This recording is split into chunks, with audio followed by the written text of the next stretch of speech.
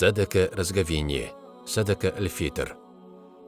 Подобно закяту, садака разговения является одним из узаконенных в исламе видов поклонения, требующих материальных затрат. Свое название садака разговения получила по той причине, что раздавать ее вменяется в обязанность в связи с разговением после завершения месяца Рамадан. Возможно также, что такое название имеет отношение к слову «фитра» – человеческая природа – поскольку раздавать эту садаку обязан каждый человек, независимо от своего материального положения. Вот почему некоторые ученые считали, что ее можно называть также садака ар-рас или закат аль-бадан, садака или закат, который должен раздавать каждый. Так пророк, алейхиссаляту вассалям, вменял в обязанность раздавать в день разговения садаку в размере одного са фиников или ячменя рабу и свободному человеку, мужчине и женщине, малому и старому из числа мусульман, повелев делать это перед выходом людей на праздничную молитву, передал имам Аль-Бухари. Раздача садаки разговения относится к категории обязательных ваджиб действий, поскольку суждение об этом выносится на основании интерпретации основополагающих источников.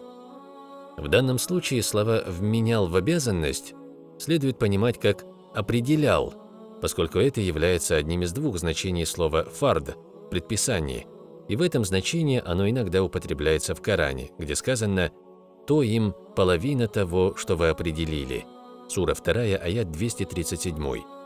Ученые же шафиитского масхаба, использующие в качестве доказательства очевидный смысл приведенного выше хадиса, считают, что выплата закята разговения относится к категории предписанных фард действий. Однако расхождение между учеными ханафитской и шафиитской школами по этому вопросу сводится всего лишь к использованию разных терминов. Относительно этого можно сказать, что слова посланника Аллаха, алейхиссаляту вассалям, «вменял в обязанность» означают, что выплата закята разговения в полном смысле слова предписывалась тем, кто слышал об этом непосредственно от пророка, алейхиссаляту вассалям, в отличие от других, если это веление не было отдано им в категоричной форме. Вот почему ученые говорили, что при жизни пророка, алейхиссаляту вассалям, обязательного ваджиб в шариате не было. Здесь следует напомнить, что во всех масхабах, за исключением ханафитского, термины ваджиб и фард являются синонимами. В ханафитской же школе определяют обязательное ваджиб как-то степень обязательности чего ниже степени обязательности предписанного фард, но выше степени обязательности того, что совершается добровольно нафиля, по примеру сунны пророка, алейхиссаляту вассалям. Раздача садаки разговения обязательна для каждого свободного мусульманина, который обладает установленным минимумом денежных средств имущества, не считая того, что необходимо ему для удовлетворения собственных неотложных потребностей, например, денег для оплаты долгов и содержания тех, кто находится у него на иждивении. В отличие от заката, наличие разума и достижение совершеннолетия не относится к числу необходимых условий обязательности раздачи садаки разговения. Так, например, если малолетние дети или люди, лишенные рассудка, располагают какими-либо средствами, их опекуны должны раздать садаку разговения от их имени.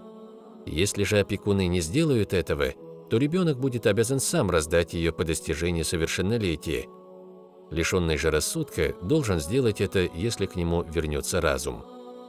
если после появления зари в день праздника разговения взрослый и дееспособный мусульманин лишится установленного минимума денежных средств, имущества, то есть нисаба, то это снимает с него обязанности раздачи садаки разговения.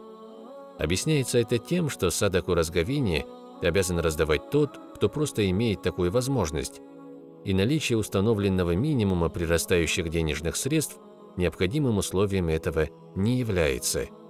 Закятом же дело обстоит по-иному, поскольку выплачивать его обязан тот, для кого это не является затруднительным при наличии такой возможности, а также ввиду того, что для каждого выплачивать закят труднее, чем раздавать садаку разговения. Взрослый и дееспособный мусульманин обязан раздать садаку разговения не только за себя, но и за своих малолетних детей, если они не имеют собственных средств. Что же касается взрослых детей, то он обязан делать это за них лишь в том случае, если они не располагают собственными средствами или лишены разума. Если в семье нет отца, эта обязанность возлагается на главу семьи. Муж не обязан раздавать садаку разговения за свою жену, поскольку его права не распространяются на ее финансовые и имущественные дела. Мусульманин не обязан также раздавать эту садаку за своего взрослого и разумного сына, поскольку права отца над сыном после достижения последним совершеннолетия полными уже не являются. Таким образом, мусульманину следует раздавать садаку разговения за каждого из тех, кого он должен содержать и на кого распространяются его права. К числу таких лиц могут относиться родители, дети, супруги или кто-либо другой, находящийся на его, ее иждивении. В качестве садаки разговения каждый мусульманин может раздавать по полса пшеницы или муки, или по одному са фиников, ячменя или изюмы. Сообщается, что обычно в качестве заката разговения раздавали по одному са какой-нибудь еды, или по одному са ячменя, или по одному са сухого творога, или по одному са изюмы, передал имам Аль-Бухари. При жизни пророка, алейхиссаляту вассалям, в Медине было мало пшеницы.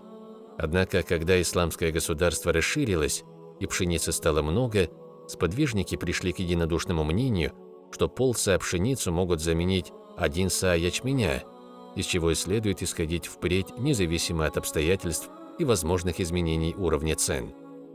Сообщается, что при жизни пророка, саллаллаху алейhi вассалям, в качестве закета разговения обычно раздавали по одному са какой-нибудь еды, или по одному са фиников, или по одному са ячменя, или по одному са изюма. Когда же появилось много пшеницы, было решено, что муд пшеницы равен двум мудам других продуктов питания, передал имам Аль-Бухари. Пол са пшеницы соответствует примерно 2 килограммам и 250 граммам. Ученые ханафитского маскаба считают, что вместо пшеницы, как таковой, бедным можно выплачивать ее стоимость деньгами. Они обосновывали свою точку зрения тем, что раздача садок и разговения была вменена в обязанность для того, чтобы избавить бедняков от нужды в день праздника разговения – Однако человек может нуждаться не только в еде. Вот почему факихи говорили, что в благополучное время выплачивать садаку разговения дирхамами даже лучше, чем едой, так как пророк, алейхиссаляту вассалям, сказал «Избавьте их от необходимости обходить людей со своими просьбами в этот день». Передали от Даракутни, Ибн Ади и Аль-Хаким. В тех случаях, когда садаку разговения раздают хлебом, кукурузой или другими злаками, относительно которых нет прямых указаний в сунне, следует принять во внимание существующие цены. Раздача садаки разговения является обязанностью, которую можно выполнять в течение всей жизни. Это можно сделать как до, так и после появления зари в день праздника, поскольку веление относительно садаки разговения, как и относительно закята, носит абсолютный характер. Сообщается, что Ибн Умар раздавал садаку разговения тем людям, которые ее принимали – и они, сподвижники, обычно раздавали ее за день или за два дня до праздника разговения, передал имам Аль-Бухари.